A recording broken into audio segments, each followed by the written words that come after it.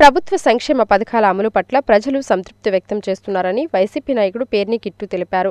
గడప గడపకు మన ప్రభుత్వం కార్యక్రమంలో భాగంగా పదిహేడవ డివిజన్లో ఆయన పర్యటించారు. ముఖ్యమంత్రి జగన్మోహన్ రెడ్డి మూడేళ్ళ పాలన పట్ల అంతటా సంతృప్తి వ్యక్తమవుతుందన్నారు. సంక్షేమ పథకాలు లబ్ధిదారులకు అందుతున్న తీరు ఆయన అడిగి తెలుసుకున్నారు.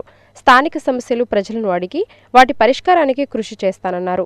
ఈ కార్యక్రమంలో మేయర్ మోక వెంకటేశ్వరమ్మ వైసీపీ పట్టణ కన్వీనర్ శిలర్దాదా డిప్యూటీ మేయర్లు లంకా సూరిబాబు తంటిపూడి కవిత అర్బన్ బ్యాంక్ అధ్యక్షుడు పల్లపోతు సుబ్రహ్మణ్యం డివిజన్ వైసీపీ నాయకులు కొల్లు రమేష్ పల్లపోతు చంద్రకుమారి పలువురు కార్పొరేటర్లు పాల్గొన్నారు.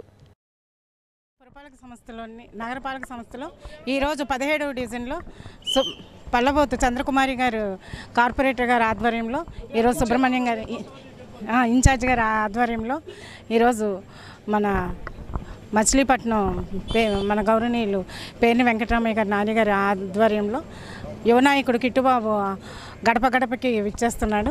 ఈ కార్యక్రమంలో గడప గడపలో వెళ్తుంటే వారు ఇచ్చే ఆశీస్సులు బాబుకి ఈ ప్రభుత్వం మీద ఉన్న నమ్మకం వారు చెప్తుంటే ఎంతో ఆశ్చర్యంగా ఉంటుంది. గతంలో ఈ వీధిలో నీళ్ళే వచ్చేవి కాదు బాబు. ఈరోజు నీళ్ళు సమృద్ధిగా వస్తున్నాయని చెప్తున్నారు. అలాగే ఏదైనా సమస్యలు ఉంటే మేము వాటిని కూడా పరిష్కరిస్తామని అడుగుతూ వస్తున్నాం. తో ఒక వారం మట్టుకి ఆరు గంటలకు వచ్చే రేషన్ మాకు ఏడు గంటలకు కావాలని చెప్పి చెప్పారు.